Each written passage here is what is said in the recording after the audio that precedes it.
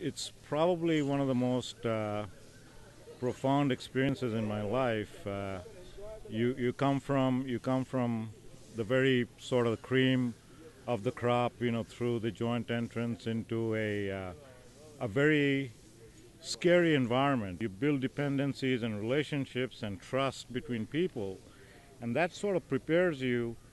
independent of your background as an individual, you know, how you take challenges, right? And it and it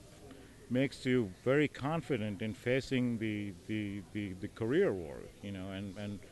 and after four or five years, you know, we, we split, went our different ways, and challenges are presented to you at various times, and you and you step into the real world with so much confidence that I went through this thing, these challenges when I was 17, 18 years old, now I'm ready to take on the world because